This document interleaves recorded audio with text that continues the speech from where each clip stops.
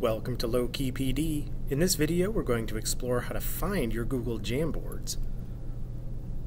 If you've navigated to jamboard.google.com, you have a number of options available to you for finding your Jamboards.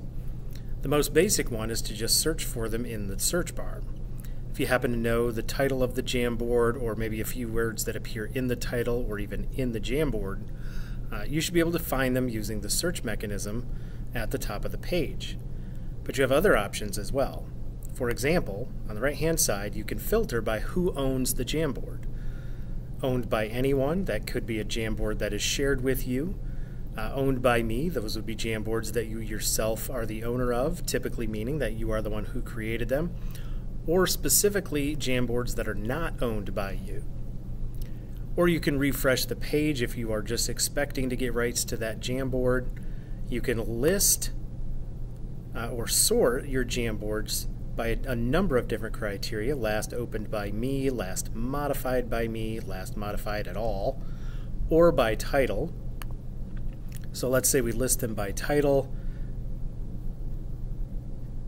I can also change the view here. So right now it's in row view, or it's, it's in list view. If I change it to row view, right, notice I get one Jamboard and all of the different frames are presented side by side.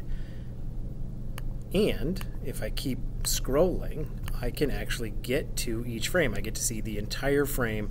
Every Jamboard takes up pretty much the entire width of the screen. All right, or I can go to grid view where I just have that uh, one little frame for that Jamboard. But notice I can still toggle and scroll between the different frames while I'm looking at it because maybe I'm looking for a Jamboard that contains a specific frame. It might not be the first frame in the Jamboard. And these are all good skills to have because if you go to Google Drive and you are searching for a Jamboard, if you don't know where that Jamboard is, maybe you created it, but you didn't create it in the place that you wanted to, to keep it.